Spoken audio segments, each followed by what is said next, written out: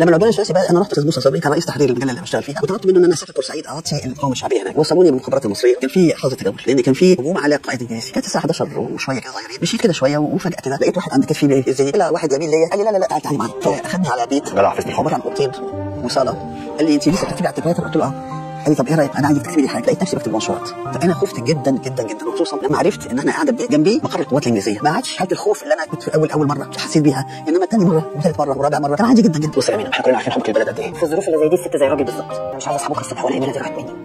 كمان مش عايزه الأجيال اللي جاية ما تحرش الابطال بتحب روحهم عشانها. الستات اللي بتحارب الإنجليز من البلكونات وبتنقل الذخيره في وسط مش أحسن مني. أنا بعلمي هكتب كل حاجة خطوة خطوة. مش واحدة لو كانت المقاومه الشعبية نقطه تحول في تاريخ البشرية الحديث.